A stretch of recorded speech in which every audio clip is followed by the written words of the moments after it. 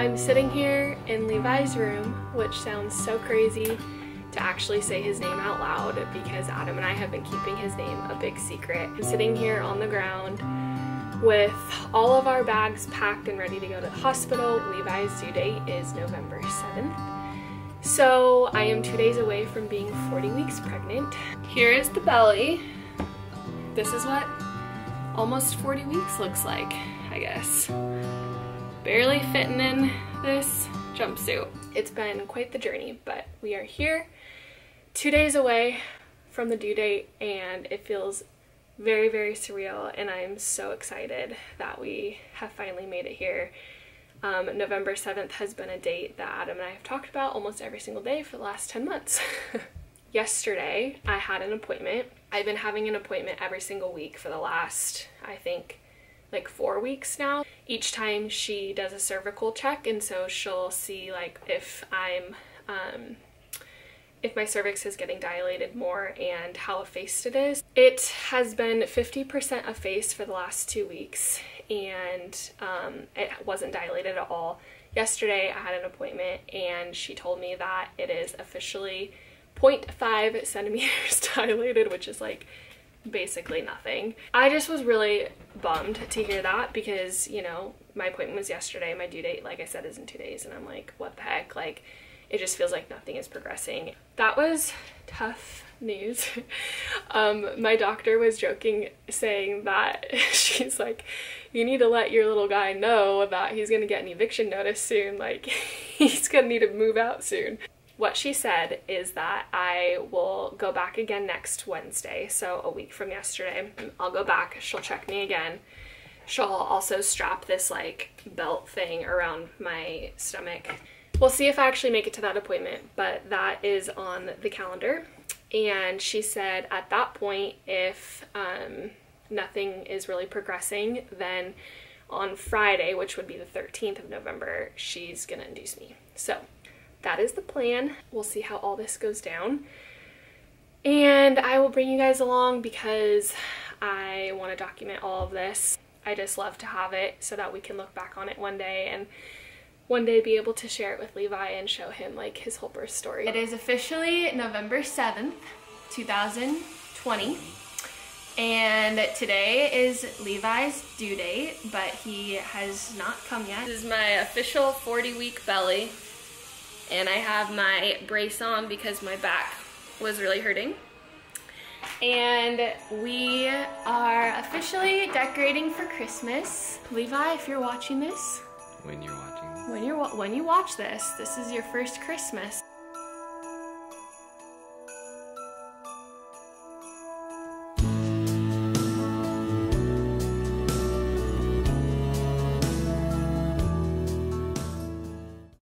Is November 8th at about 10.30 in the morning. We have been up since 3.30 a.m. because I have been in early labor. Right now I am having contractions, but they're only like, they're pretty mild and they're happening probably every like 15 to 20 minutes. So we still have some time here at the house before we go to the hospital, but it's looking like today is baby day.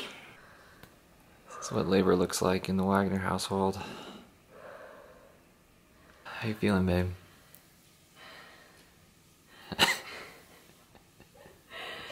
Great love. Just made it to the hospital. Epidural setting in. Lindsey couldn't talk 15 minutes ago. Now look at that smile. We're here until baby comes. I can hear his heartbeat. You can hear his heartbeat. On the monitor. Just got the shakes. You want to tell us about the experience so far? Contractions were horrible. Were really painful. I didn't think I was gonna make it here in the car. And the the the elevator coming up here, I was like, this is horrible. And they put me in a wheelchair. And then they took me up here. And they told me I was seven centimeters dilated. And they strapped me all up. Okay, love. Nine centimeters dilated. Water just broke. How you feeling? I'm so excited to meet our little guy. We're getting so close, but I'm feeling really tired because I've been awake since 3:30 in the morning. Yeah, it's now almost six o'clock at night. yeah, is it? Oh, Doctor said another probably the next hour or two, baby's gonna be here. What are three emotions you're feeling right now? I feel excitement, anticipation, and also like kind of nervous because just the pushings. I don't know. I'm not really sure how the pushing is like gonna go down. This epidural is like the best thing that's ever happened to me. But I can't feel anything beneath my waist down. Next update, may have a Next baby in hand. We're gonna get to meet Levi. Get ready. Maybe Alright. good thinking of that part. Just that little scare. Got my sweet outfit on. Looking nice. Thank you, thank you. But we're all good, back on track, and Lindsey's officially in the pushing stage, and we uh, we had a I guess a heart rate drop uh, for Levi, and they ran Lindsey into the operating room, and but thankfully he came back and uh, didn't need to do a C-section, and now we're gonna push and meet our little guy here soon. First moment. You did it. I can't believe he's here. Hi, Levi.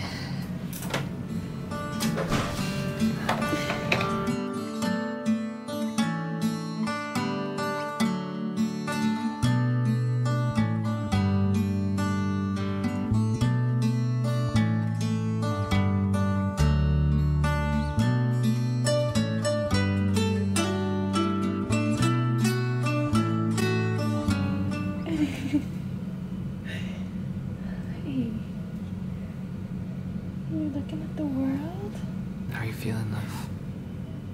Oh. I'm so happy he's here. You did it. I'm so in love with him. And just look at me. So cute. Little Hi. Are you getting sleepy? Oh. Oh. Yeah. Oh. First snuggle. Dad holding Levi for the very first time. Feels right. We're about to move to our room, our postpartum room. This is our last moment in this room. A lot room. went down in this room. Uh, got tacos as soon as I could. It's 1 a.m. The next day, we got Lindsey in her sweet bed and sweet little Levi, all fed, diaper changed, and he is out. So, Linz, yeah. how are you feeling right now? I'm so exhausted. I can't believe it's already the next day. I've almost been awake for almost 24 hours straight. So I'm pretty pooped. And it was a heck of a day. Also, I don't know, did you share already what happened earlier with the birth? I can't even remember. Okay, if we didn't fill you guys in yet, I'll do it real quick. I'll give you a recap. Gosh, let me think what happened. First, did your epidural. Yeah, that's um, what it was. His heart rate dropped, which Yeah. they said is pretty normal, and then they just moved you and it came back. Yeah, that's okay. So that happened first. Then we were like progressing normally, whatever. I got to 10 centimeters, and they were like, okay, it's almost time to push. And I'm like, great, let's do this. And all of a sudden, like out of nowhere, they literally rush me down the hallway. Like, they unplug everything that I'm attached to. They rush me down the hallway, literally like sprinting, sprinting my bed. Like it was one of these types of beds. So they take me to the operating room, and I'm thinking, oh my gosh, like, what's going on? Like, some complications happening, and they're like not telling me. And I then I hear like overhear them talking, and they're like talking about a C-section, and I'm like, oh no. So we're, now we're in the operating room. His heartbeat like started to norm- normalize again. So they're like, oh, we don't need to do the um, what is it? I'm so tired right now. C-section. The C section, yeah. They're like, we don't need to do the C section. We can do, we can just have you push. And I'm like, okay. So we're in the operating room, and I'm pushing like normal now. And then they get to a point after I push for a little bit, they're like, oh, we can actually bring you back to your normal room. Like, you're fine now. He's fine. And I was like, okay. So then they wheel me back to our normal room that we had been in previously. And they're like moving me, positioning me, and whatever, because now I'm, they're trying to get me back into the old bed. And in the process of doing that, his heart rate again like declines, and so then it's like another freak out, and so all these nurses pop in again. They're all like moving rapidly, and you're like, okay, what's going on? Then his heart rate normalizes again, and the doctor comes back in, and he's like, we're gonna use a vacuum. He needs to come out like right now. Like, okay, please act. That'd be great. Like, let's just get him out at this point. It was crazy, and it just felt like it was like up and down. It's like, oh, he's not fine. He's fine. He's not fine. He's fine. Sprinting down the hallway to the, you know, the room and then back. And it just was like a lot. I guess what happened was the umbilical cord was like wrapped around his neck very lightly, so it wasn't like dangerous, but it still was kind of scary. And it still was impacting him, and he was also sunny side up. So I guess those two things in conjunction caused like I don't know. He was like having a hard time basically getting through. Like he was Yeah. like you were pushing and he was coming, but he was coming really slow. Yeah. And it was becoming really hard on both of you. Yeah, basically. Yeah, that's a good way of putting it. He's here, everything is fine, but it just was like very chaotic for a little bit and stressful and I had no idea what was going on. Adam didn't know what was going on. Literally all day, everything was fine. I think that happened at what, like eight, seven? Yeah, it was like the last Yeah. two hours. Anyway, so it was it was crazy. It was a lot, and um, but we're all good. He's here, and we're gonna try to get some sleep now. I'm so tired right now that I just can't fill out the forms that they want me to fill out right now. I'm like, can I just go to sleep? So we're gonna do that. We can get a couple hours of sleep at least before I have to feed him again. So you know, mom life. It's the morning after. We got smiles. Mama got two, hours. of sleep. Little Levi just got his very first bath. And he apparently hated it. but he looks very content now. This is our view out of our window. Not much going on out there. Extra gourmet hospital food. I'm a pretty good burger, I have to say.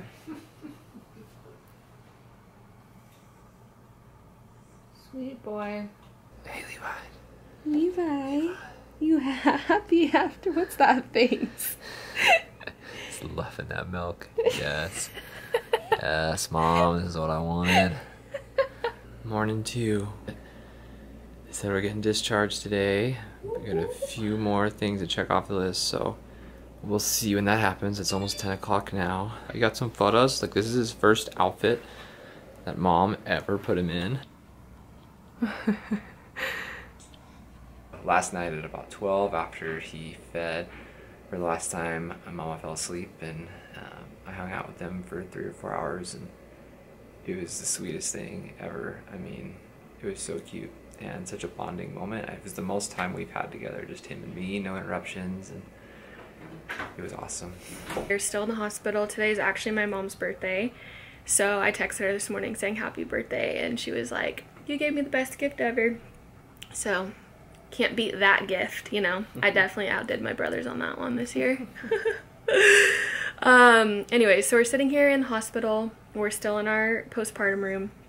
I actually just put on clothes, like actual human clothes. A little makeup on, just like foundation, which, you know, makes me feel alive.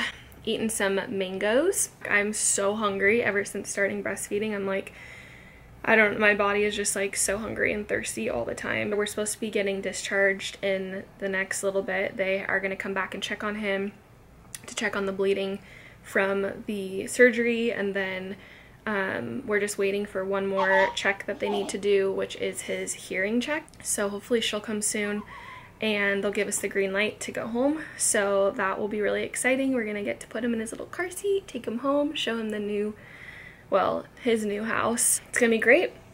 We can't wait. And it just feels so surreal that we have our little guy here. My stomach is growling so loud. I don't know if the camera caught that, but did you hear that? No. Well, okay.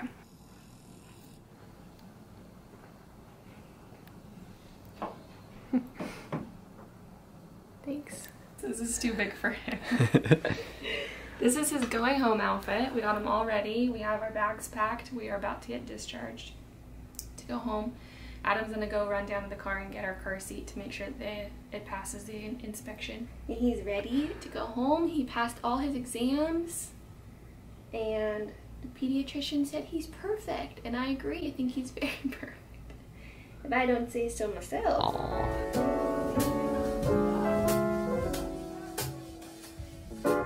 All right, we're heading home. COVID mask and all. Taking Levi with us. He's in, First ride. he's in the car. Look. All ready to go.